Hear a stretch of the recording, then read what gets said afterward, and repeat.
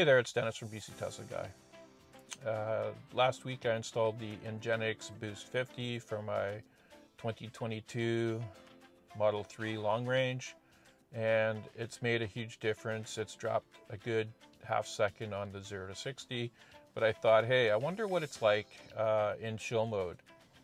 Um, I've never used chill mode. I tried it out yesterday and I was like, wow, this is just unresponsive and it's it seems really slow.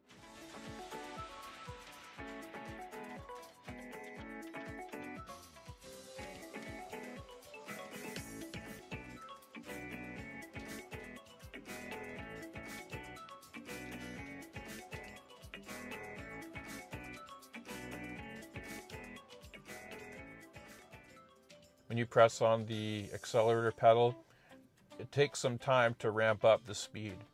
So I thought, hey, let's compare 0 to 60 between the chill mode and the boost 50. Okay, so this is my first pass using, it's set in chill mode, 0 to 60. Let's go. So you guys ready? Here we go. Right to the floor. Oh my God, this is so slow.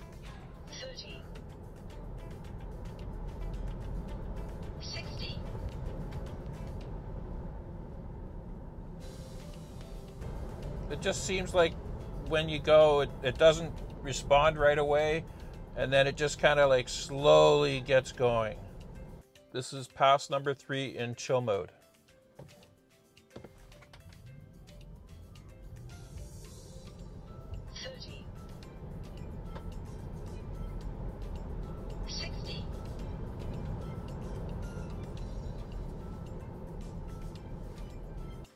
Okay, so this is my first pass. It's now set to standard, which is the Boost 50. So let's give it a shot. Holy cow. Now that takes off. 60.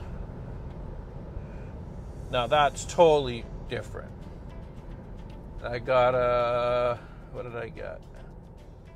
382. Okay, so we're all ready. Pass number two, Ingenext Boost 50 compared to the chill mode. Ugh. 30, 60. Yeah. Now that's that's what I call acceleration. Yeah. That one was oh a bit slower, 388. But, so now let's compare chill mode versus Ingenext uh, Boost 50. Okay, so I took a look and compared the 0 to 60 for chill mode versus the Ingenext Boost 50 for my 2022 Model 3 long range. And the average 0 to 60 for chill mode was 7.8 seconds, 0 to 60. And with the Ingenext Boost 50, 0 to 60, 3.84 the Ingenext Boost 50 is twice as fast compared to the chill mode. And so I'll just leave mine in standard. So the question is, will I be driving in chill mode? And the answer is no. I'll just leave it in standard, which gives me that boost when I need it. If I want to conserve energy, I can just accelerate less. I like to have that ability to just give a little bit more in the pedal and have more uh, more responsive pedal when you're driving at the same speed so if you're to drive at 30 miles per hour and stay at 30 regardless of being in chill mode or standard mode they're going to use the same amount of energy.